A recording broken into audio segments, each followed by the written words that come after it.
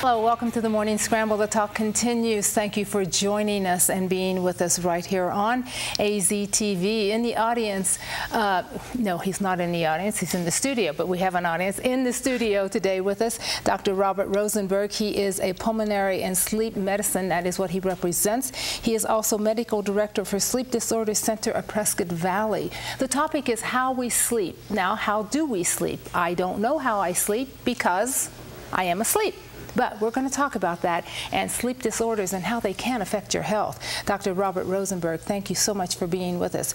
Uh, Prescott Valley and Flagstaff also, correct? Yes, we have a sleep center in Prescott Valley and a sleep center in Flagstaff. Doctor, why is it important that we know how we sleep? Well, it's important we know how long we sleep because lack of sleep results in heart disease, high blood pressure, and diabetes. We know okay. that now, and obesity. Okay. So there's a definite relationship between them. Now, you've got, you yeah. must put this together for sure. me, diabetes and obesity. Right. Give me that connection okay. on the sleep. Okay. When people sleep less than on average six and a half hours, and we're finding out that about 30% of Americans right now are sleeping less than six and a half hours. It results in the release of a hormone called ghrelin. Ghrelin stimulates appetite, and people who don't sleep enough have very high levels of this hormone and tend to consume more calories. Really? Especially, yes, especially carbohydrates. So there's a relationship we feel between the epidemic of obesity in the country and the epidemic of lack of sleep. And I'm not talking about insomnia. We're talking about something called behaviorally induced insufficient sleep, where you choose to burn the candle at both ends and not sleep enough. So okay. that's one problem. Yes. We also know lack of sleep results in insulin resistance. High cortisol levels during the night, which should be low, it's a stress hormone, produces blood sugar. It basically breaks down glycogen in the liver. Blood sugar gets high. And we know when people have lack of sleep, there's actually a resistance to insulin being able to get into the cell and work. So well, that's we know, everyone problem. is different, obviously. Right. Not one size fits all. Sure. But what are the parameters? What's the minimum? What's the maximum okay, seven hours eight, of sleep? Very good. Seven to eight hours is probably on average what we so need. So minimum of seven, you should Probably. Over six and a half at least. Under six and a half, you do see a correlation between medical disorders um, and the lack of sleep. Well, the obesity part is if I wake up in the middle of the night, which uh, that's another question. Sure. Uh, waking up in the middle of the night, what is dangerous numbers and what is an average number? It comes down again to total sleep time. So if you wake up in the middle of the night for 10 minutes, 5 minutes, and a lot of us as we get older, we sleep in later stages of sleep. But how many times? We may wake up uh, every time we go into a different stage of sleep, which occurs every 90 minutes. Some people actually wake up for a short period of time as they flip through stages of sleep. But, uh, but in terms of dangerous, if you're up three or four hours a night, sleeping only four or five hours a night out of the eight or nine you're in bed, that's, that's insomnia. And then it needs to be, what you need to find out is, why am I waking up? There may be reasons.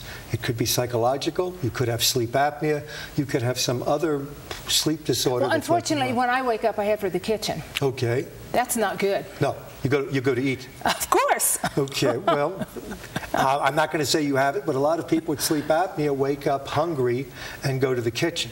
So they have what's called. Well, many times when I go to the kitchen, I'm not even hungry. I just go to the kitchen and get something to eat. Okay, it's just a habit then, or soothing. Exactly. Yeah, you probably find the food soothing, and some foods actually will help you get back and to sleep. And it puts me right back to sleep. Uh, sleep apnea. Right. Let's describe it. Sleep apnea means you stop breathing in your sleep. We have 18 million Americans who have sleep apnea of which only 20% are diagnosed and treated. So basically, your airway shuts down during sleep. Literally, you breathe in, your airway collapses on you, collapses for a minimum of 10 seconds or more, oxygen levels drop, carbon dioxide levels go up, and blood pressure may surge with each apnea as much as 40 or 50 points.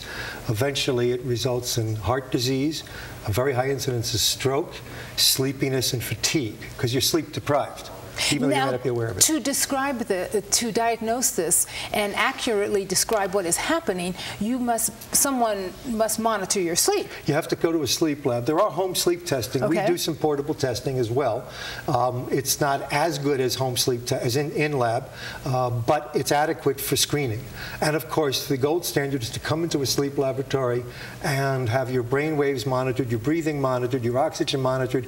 It's all being monitored by a board certified technologist at my laboratory and on computer. And by the time the night's over, we'll know if you have sleep apnea. But there is help for that. Oh, sure. Usually, if the sleep apnea is significant, we stop the test within the first hour or two if we're seeing a lot of apneas, and we put the patient on a CPAP, which is a little machine that generates compressed air. You wear a mask could be a little nasal cannula looking mask. Uh, they're not as obtrusive as people think. Okay. Actually, they're very unobtrusive nowadays. And the machine is then uh, calibrated by my technician. He slowly increases the pressure until your airway can no longer collapse and you no longer snore. The pressure splints the airway open. No longer is there any blockage. Your oxygen levels come up to normal. Your blood pressure stops flaring in the middle of the night. And people have significant resolution of heart problems, diabetes, and high blood pressure. Significant drops. Uh, ADHD, particularly in children, uh, although it can obviously Sure. be in adults, uh, but ADHD in children, does that affect sleep? Should we be concerned? Most children with ADHD have sleep difficulties. They sleep less than normal, that's one thing. On an average, 45 minutes less, which can mean a lot. So a lack of sleep may be contributing to the inattention and the hyperactivity.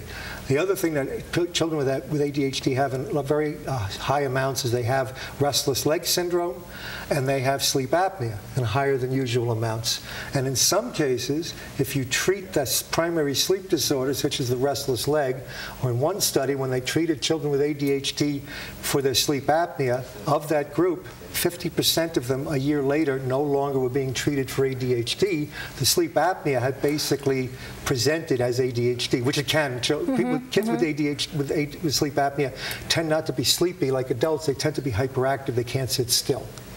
And bringing us to the question of uh, treating someone for sleep apnea with the device that you're talking about, CPAP. is, uh, is that something that uh, for the rest of your life, do you, are you able to then sleep without it after a prolonged period of time? Great question. If you're morbidly obese, if you're a heavy alcoholic, if you have take medications that make sleep apnea worse, then there's a chance if you lose weight, stop drinking, you might get off the CPAP. Okay. But if you're an average person, a little bit overweight, you have significant sleep apnea, then right now in this day and age, with what we have available, it's unlikely that you're going to be able to shed the CPAP because sleep apnea doesn't suddenly go away. It's not like a common cold.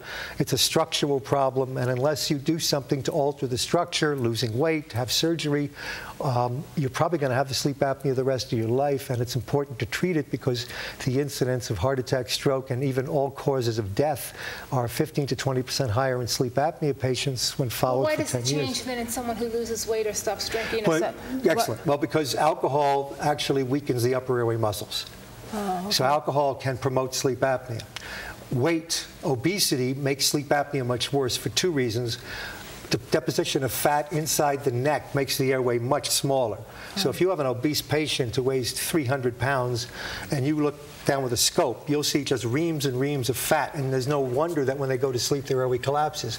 So if they lose weight, either with diet or bariatric surgery. And by the way, the incidence of sleep apnea resolving after bariatric surgery is 65%. So that's the cure rate. But when they lose that weight, the fat from the neck goes away, and the fat in the abdomen that pushes the, the diaphragm up and makes the lungs, the volume smaller Right, at night, right. that improves too and allows the airway to come down and to be firmer. We call it tethering. If nothing else, lack of sleep makes someone cranky during the day. Very much so. You're just cranky and out of sorts. Right. You don't feel well. No, that's a symptom. One of the primary symptoms of insomnia is crankiness, irritability, I can't function, and that and fatigue. Doctor, how do we find you? Well, uh, we're at the Sleep Disorder Center of Prescott Valley, and we're at the Sleep Disorder Center of Flagstaff. So you can always call us there at 772-6422. And uh, I write a column every week in the Courier. Yes, so, you do. I- I'm so, glad they- you brought that up. I was give- going to- Yeah, yeah. on Sundays in the Vitality section. So you also see our address there. And if you have any questions for me, you can send it to my website, uh, answersforsleep.com, and we attempt to answer all sleep questions within 24 hours. Yes, and, and AnswersForSleep.com is Right. the website where people can find out what we've talked about today and more. Oh, yeah, much more. Okay, doctor, thank you. Nice. Thank you for being back. Thank you. We'll